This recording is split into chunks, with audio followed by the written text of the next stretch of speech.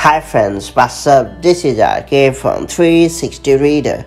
Right now I'm going to have to block multiplayer games in Game Center on iPhone and iPad. If you no longer want your kid to play with other players in multiplayer games in Game Center, this tip is for you. That all being said, it's time to learn how to restrict multiplayer games in Game Center on iOS or iPad OS device the quick way. Before getting started, make sure you have subscribed our YouTube channel and hit the bell icon so that you won't miss any update from 360 Reader. First and foremost, launch the Settings app on your iPhone or iPad and then choose Screen Time. After that, you have to scroll down to the bottom and then select Content and Privacy Restrictions. Next up, make sure to turn on the toggle located right next to Content and Privacy Restrictions. After that, tap content restrictions and then you have to enter your screen time passcode.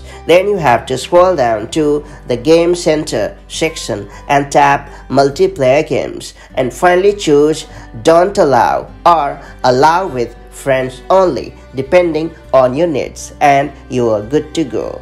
Of course, if you ever want to change it, all you have to do is follow the same steps and then choose the preferred option in the end. That's pretty much it. So that's how you can take advantage of this well thought out screen time feature to block multiplayer games in Game Center on your iPhone or iPad the quick way. If you have found this video helpful, do like and share it and I'll see you in the next video with more such handy iPhone and iPad hacks. Till then, stay safe and have a great time. Bye bye.